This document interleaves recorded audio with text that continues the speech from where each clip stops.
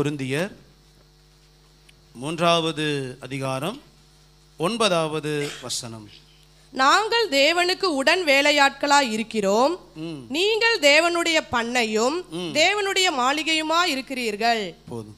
அப்போஸ்தலன் பவுல் சபைக்கு எழுதும் பொழுது சபை என்பது எப்படிப்பட்டது என்பதை அவர் சொல்லும் பொழுது நீங்கள் தேவனுடைய பண்ணையாய் இருக்கிறீர்கள். அல்லேலூயா. அல்லேலூயா. சபை குறித்து அநேக வெளிப்பாடுகள் அப்போ சில பவுலுடையார் தரப்பட்டது. அவர் எழுதிய நிரூபங்கள் எல்லாம் இன்னைக்கு சபைக்கு சத்திய உபதேசங்கள். இந்த பவுலடியாருடைய நிரூபங்கள் மாத்திரம் இல்லை அப்படின்னா இன்றைக்கி நமக்கு சத்தியங்களே இல்லை. ஆக எல்லா விதமான அநேக வெளிப்பாடுகள் இந்த பவுலுடையார் மூலமாக தான் வெளிப்படுத்தப்பட்டது. அப்படி வெளிப்படுத்தப்பட்ட இந்த பவுலுடையார் சொல்லுற வார்த்தை நீங்கள் தேவனுடைய பண்ணையாக இருக்கிறீர்கள். பண்ணை அப்படின்னா பண்ணைன்னா விவசாய நிலம் ஃபீல்டு விவசாய நிலம் சாதாரண நிலம் இல்லை. விவசாய நிலம் பண்ணை. இந்த ஏன் இந்த பவுலிங்க தேவனுடைய பண்ணை என்று சொல்கிறாருன்னா சபையை குறித்து தேவனுக்கு இருக்கிற எதிர்பார்ப்பு என்ன? தேவன் சபை எப்படி பார்க்கிறார்? சபையை ஒரு தோட்டமாக கத்தனை செய்கிறார்? பார்க்கிறார். தோட்டம் அப்படின்னா அது மாடி தோட்டமாக இருந்தாலும் சரி வீட்டு ஓரமாகிற தோட்டமாக இருந்தாலும் அதை வைக்கிறவங்க எதுக்காக வைக்கிறாங்க? ஒரு நோக்கம் அவர்களுக்கு உண்டு. ஒன்று பிரயோஜனமாக இருக்கணும் அழகாக இருக்கணும் அல்லது தாங்கள் விரும்புகிற ஏதோ ஒன்று என்ன செய்யணும் அதில் கிடைக்கணும். அப்போது தோட்டம் அப்படின்னா அந்த எஜமானுக்கு மகிழ்ச்சி கொடுக்கறதா இருக்கணும் அல்லது நம்ம எஜமான் படுகிற எல்லா பிரயாசத்துக்கும் பலன் கொடுக்கறது அல்லது பிரயோஜனம் உள்ளது அதுதான் தோட்டம். இன்றைக்கி நிறைய நேரங்களில் கிராம பக்கம் போனீங்கன்னா பச்சை பசேல நிலத்தை பார்த்தால் எப்படி இருக்கும் நமக்கு? அழகாக இருக்கும். அந்த நிலத்தை பார்க்குற அந்த தோட்டக்காரனுக்கு எப்படி இருக்கும்? அள்ளி தூவும் விதையை தூவும் பொழுது அழுது கொண்டே தூவுறான். அழுதுனா எவனுமே அழுது தூவுறதில்ல. கஷ்டப்படுறாங்க வேதனைப்படுறாங்க. ஆனால் அது நல்லா வளர்ந்து பச்சை பசேல்னு ஆள் உயர்த்து கதிர் வளரும் பொழுது அதை பார்த்தோன்னு தோட்டக்காரனுக்கு எப்படி இருக்கும்? பயங்கர மகிழ்ச்சியாக இருக்கும். அதே நிலம் எவ்வளோ பிரயாசப்பட்டும் ஒரு பலனுமே இல்லைன்னா தோட்டக்காரனுக்கு எப்படி இருக்கும்? எரிச்சலாக இருக்கும் வேதனையாக இருக்கும். அப்படி ஆனது தான் தரிசு நிலம். அப்படி ஆகிறது தான் தரிசு நீ தரிசு நிலமாக இருந்தால் மேய்க்கால் புறம்போக்காயி மேய்க்கால் புறம்போக்கு புறம்போக்காயி புறம்போக்கா அப்பார்ட்மெண்ட்ஸ் ஆயிடுச்சு. லே லூயா இன்றைக்கி இருக்கிற அப்பார்ட்மெண்ட்ஸ் எல்லாம் ஒரு காலத்தில் தோட்டமாக இருந்தது. அப்புறம் மழை பெய்யலன்னு சொல்லி விவசாயம் பண்ணாமல் தரிசு நிலமாக கடந்து புறம்போக்கா போய் இன்றைக்கி என்ன ஆயிடுச்சது அது அப்பார்ட்மெண்ட்ஸாக போயிடுச்சு. அப்போ தரிசு நிலத்தில் ஒரு பிரயோஜனமும் இல்லை. அப்போது தோட்டம் அப்படின்னா எஜமானுக்கு பிரயோஜனம் உள்ளது. லேலூயா? இதை மனசில் வச்சுக்கோங்க. நாம் யாரும் தேவனுடைய பண்ண. அப்போ ஆண்டவர் ஏதோ ஒரு நோக்கத்தோடு தான் நம்ம நினைச்சிருக்கிறாரு வைத்திருக்கிறார். அப்போ அந்த நோக்கத்தை நிறைவேற்றுகிறது தான் தேவனுடைய பண்ணை.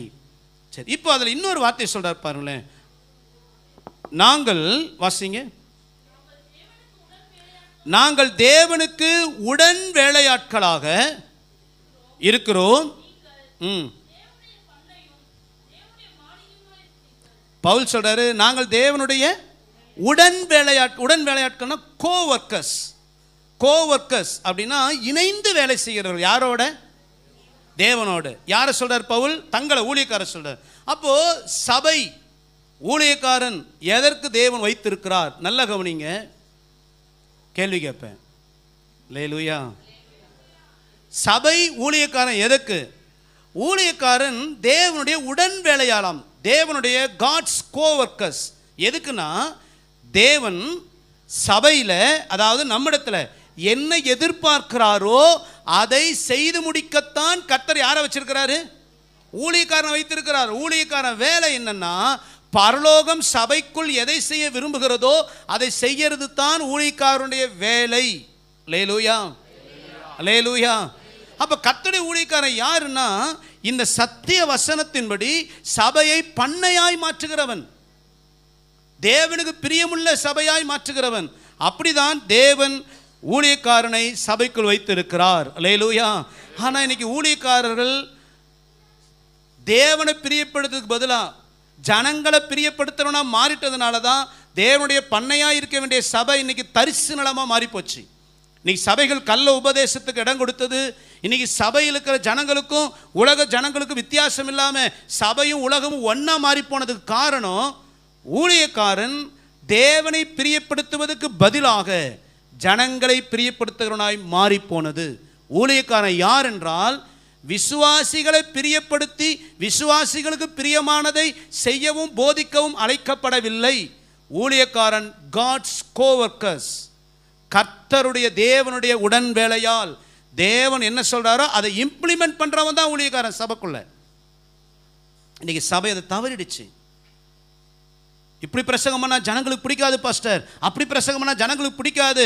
இப்படி சொன்னால் இவன் சபைக்கு வரமாட்டான். அப்படி சொன்னால் இவன் சபைக்கு வரமாட்டாங்க. அதனால் ஜனங்களுக்கு பிரியமானதை சொல்லணும் பிரியமானதை சொல்லணும். நீ சபை சீர்கட்டதுக்கு போனது காரணம் ஊழியக்காரர்கள் ஜனங்களுக்கு பிரியமானதை மாறிவிட்டது.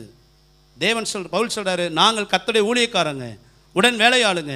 நீங்கள் தேவனுடைய பண்ணை. அப்படின்னா நாங்கள் எங்களுக்கு எல்லா ரைட்ஸும் இருக்குது. என்ன ரைட்ஸு பரலோகம் என்ன சொல்லுதோ அதை முழுக்க சபைக்குள் இம்ப்ளிமெண்ட் பண்ணுவதற்கு யாருக்கு ரைட்ஸ் இருக்குது? ஊழியக்கார அதுதான் ஊழியக்காரன் வேலை.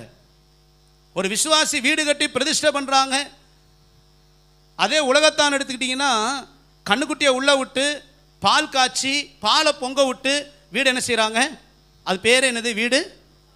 பால் காய்ப்பு. இது வீடு. அந்த பால் என்ன செய்யணும்? நல்லா பொங்க விட்டு அது வலியணும் வலிஞ்ச என்ன அடையாளமா? வீடு சுபிக்ஷமாக இருக்குமா? எப்படி இருக்குமா? அப்படின்னா டெய்லி பாலை காய்ச்சும் போதெல்லாம் என்ன செய்யணும்? டெய்லி பாலை பொங்க விட்டா டெய்லி வீடு சுபிக்ஷமாக இருக்கும்ல? இது உலகத்தான் செய்கிறான் இதில் நம்ம ஆளு போய் அடுப்பு நிற்கிறது கையில் கொடுத்துட்றாங்க எதை? லைட்ரு பாசிட்டிவ் இப்போ என்ன பண்ணணும்? ஜபம் பண்ணி பற்ற வச்சு அந்த பால் பொங்கி வரும்போது மூணு அல்லேலுவியா ஐயா அந்த பால் பொங்கிறது மேலே நம்ம ஆசீர்வாதம்? இது மூட நம்பிக்கை. அப்படின்னு எவன் சொல்லி தரணும் ஊழிக்காரர் சொல்லி தரணும் சபைக்கு. அதான் ஊழிக்காரன் வேலை. ஜனங்கள் உலக மூட நம்பிக்கைக்கு இடம் கொடுக்கும்போது இதெல்லாம் மூட நம்பிக்கை. நம்ம நம்பிக்கை கர்த்தர் தான். இது சபை இது கர்த்தருடைய பண்ண அப்படின்னு சொல்லி கொடுக்கத்தான் ஊழியக்காரன் கர்த்தர் வைத்திருக்கிறார். ஆனால் இன்னைக்கு ஜனங்களுக்கு ஊழியக்காரன் கண்டித்து சொன்ன என்ன செய்யறதில்லை? நீ ஊழியக்காரங்க மாறி போனதுக்கு ஒரு காரணம் ஜனங்கள். ஜனங்கள் தவறி போனதுக்கு காரணம் ஊழியக்காரன். இன்னைக்கு விசுவாசினால் ஊழியக்காரன் கிட்ட போனாங்க. ஊழியக்காரனால விசுவாசிங்க. நல்லா புரிந்து கொள்ளுங்க. சபை என்பது கண்டித்து புத்தி சொல்லுகிற இடம். ஊழியக்காரன் வேலை பரிசுத்தத்துக்கும் பரிசுத்தம் இல்லாதுக்குமான வித்தியாசத்தை காண்பிப்பது. எல்லாரும் இப்படி தானப்பா செய்கிறாங்க வேதம் இது தப்புன்னு சொல்கிறத இது தப்பு. சபைக்குள்ள அதுக்கு இல்லை இதுதான் தேவனுடைய பண்ணை. அப்போ ஊழியக்காரன் யார் என்றால் கத்தருடைய உடன் வேலையால் அவன் தேவனை பிரியப்படுத்துகிறவன். அதனால தான் பவுல் சொல்கிறாரு கலாத்தியர் ஒன்று பத்தை நீ வாசிங்களேன். இப்பொழுது நான் மனுஷரையா தேவனையா? நான் மனுஷரையா?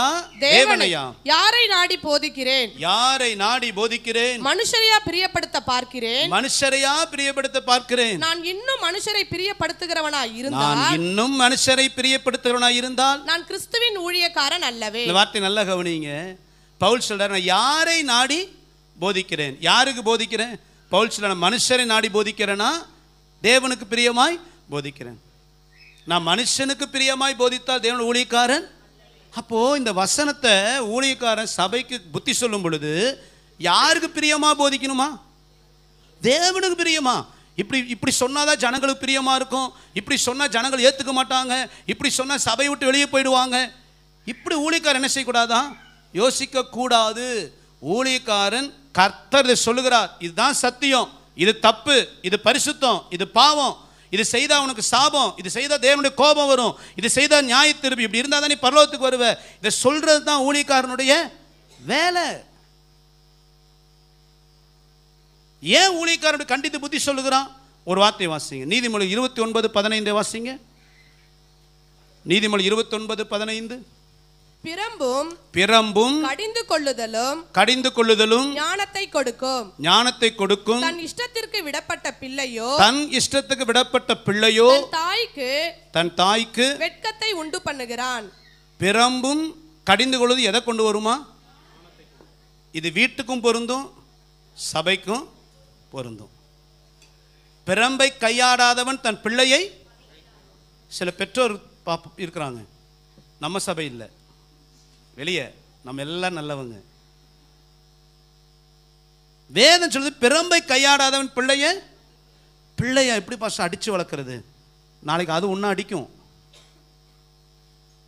பிரம்பை பிரம்பும் கடிந்து கொள்வதிலும் எதை கொண்டு வருமா? ஞானத்தை கொண்டு வருமா?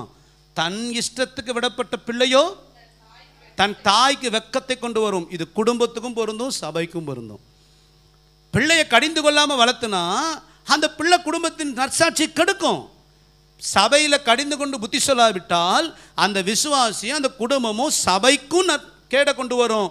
தேவ நாமத்துக்கும் தூஷணத்தை கொண்டு வரும். அப்போ ஊழியக்காரனை கொண்டு ஏன் சபையை கண்டித்து புத்தி சொல்கிறார் சபைக்கும் தேவனுக்கும் இழுக்கு வரக்கூடாது. லேலூயா